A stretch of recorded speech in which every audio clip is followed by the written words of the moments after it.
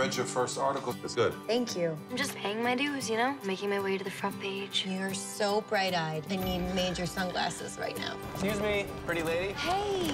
Happy birthday, dear Susannah. Susannah, you're gonna interview that senator. Got it. Susannah, he's ready. Who? Senator. I'm not ready for this. Take a deep breath. You have this. Uh, what do you, um... I'm sorry. Are you all right, young lady? They just said that she had a seizure. I've seen this before with Wall Street guys who've been all stressed out. There's nothing wrong with them. It's all in their heads. Her MRI is normal. Her neurological exam is all normal. I'm looking in her eyes, and I can tell she's not there.